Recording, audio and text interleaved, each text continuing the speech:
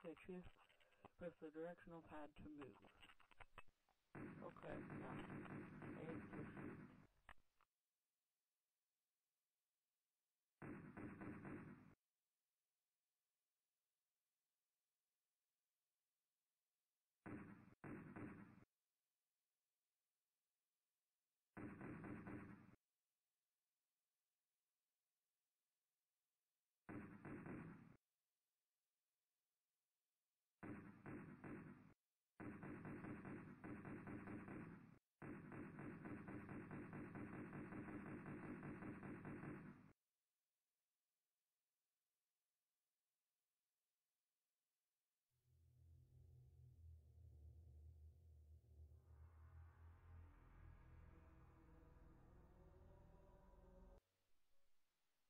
Choose